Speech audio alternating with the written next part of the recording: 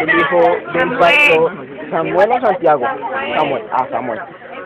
Samuel, el hijo del pastor Alfonso y la pastora Ruby que están al frente de la obra en El Viento. Yo soy el próximo misionero. Ella es la otra misionera de la familia. La hermana, la hermana Natalia. Ella es la misionera chiquita Natalia y ella es la misionera grande Natalia también.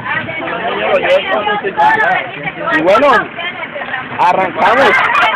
Gloria a Dios por esto y bueno, les seguiremos informando.